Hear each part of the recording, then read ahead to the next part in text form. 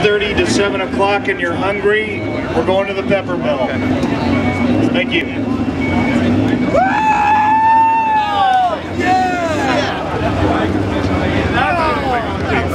Yeah!